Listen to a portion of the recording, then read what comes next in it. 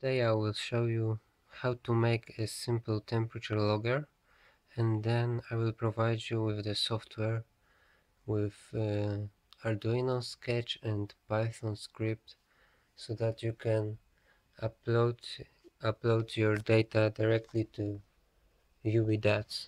So let's begin this part with constructing the data logger. For that you need 11 jumper wires, one uh, 4.7k resistor, DS18B20 temperature sensor, SD card reader, and of course Arduino Uno and breadboard.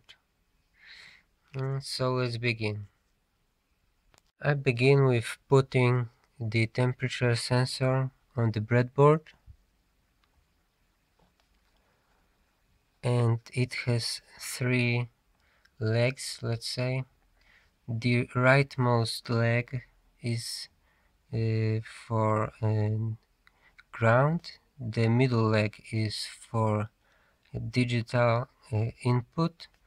And the leftmost leg is for VCC uh, we have to remember that middle leg and the uh, VCC leg has to be they have to be connected with 4.7k resistor. So I place it in the breadboard.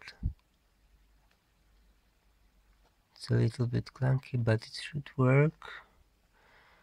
And now let's uh, first I should connect ground.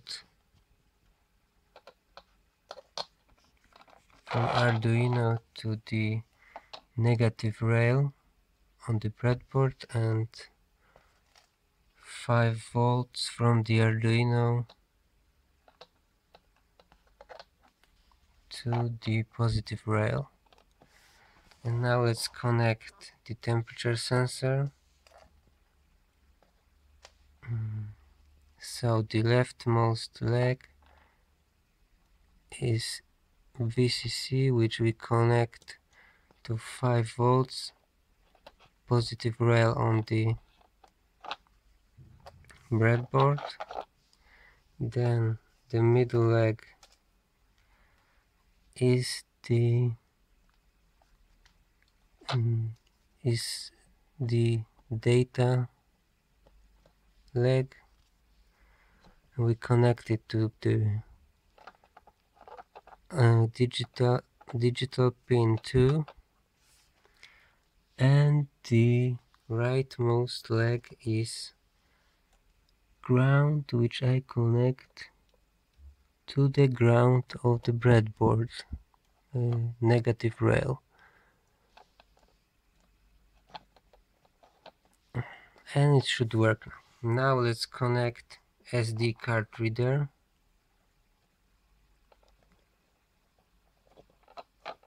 It sticks very nicely. So uh, maybe I show you what what legs are to connect. So first leg is ground second leg is VCC third is MISO which stands for master input slave output. In this case Arduino is master and SD card reader is slave. Fourth pin is master output slave input. SCK stands for system clock I guess and CS is chip select. So let's put it into the breadboard and connect it. So ground goes to breadboard ground mm. VCC goes to positive rail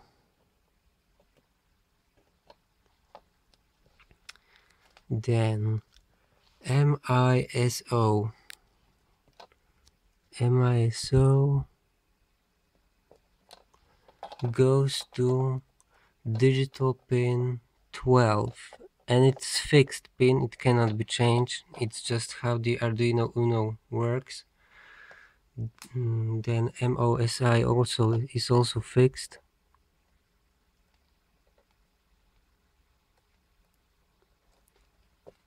Mm -hmm. and it goes to digital pin 11 then there is uh, SCK system clock.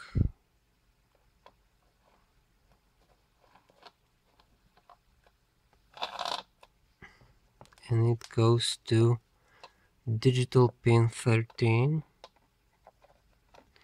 and finally chip select it can go to any of the digital pins but we will use digital pin 10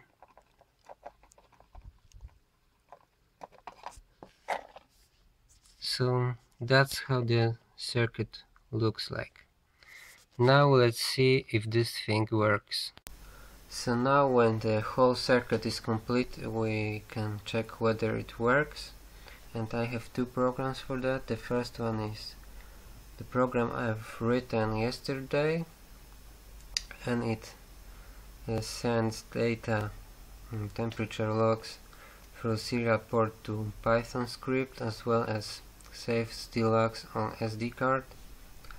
And the second program is uh, called card info. It's uh, an example from SD card library SD library so everyone who installed Arduino IDE has it installed so now I will connect Arduino with the computer and I will upload the first program to check whether the temperature sensor works. After 2 seconds there should appear a first value.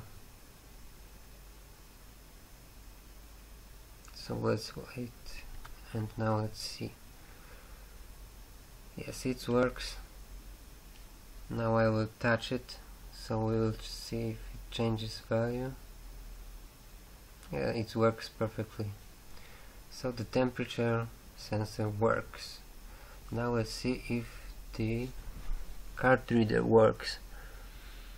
Mm, you have to bear in mind that in order to work this program has to be changed in this line const int chip select it to 10 because we used digital pin 10 instead of 4 which is default in this program. So we have to change this line. And now let's download this program to the Arduino. And check if the SD card reader works. So as you can see it works perfectly the SD card is initialized. Card type is HDHC volume type FAT33 files found on the card logs2.csv it's the file created by the previous program so it works perfectly. So this part is finished. Mm, in the second part I will provide you with the program program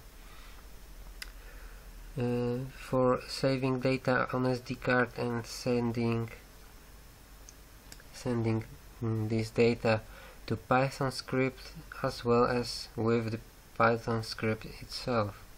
So see you in the part 2 of this tutorial.